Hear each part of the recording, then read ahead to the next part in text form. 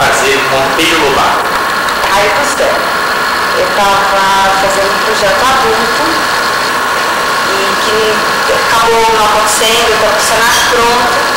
é, com os direitos da, da, dessa, da, dessa conversa adulta,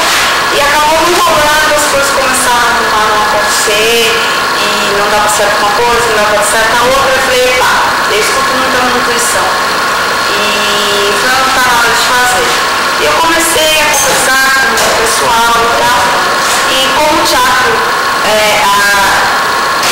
eu, a gente nunca tinha trabalhado antes, é a nossa primeira produção,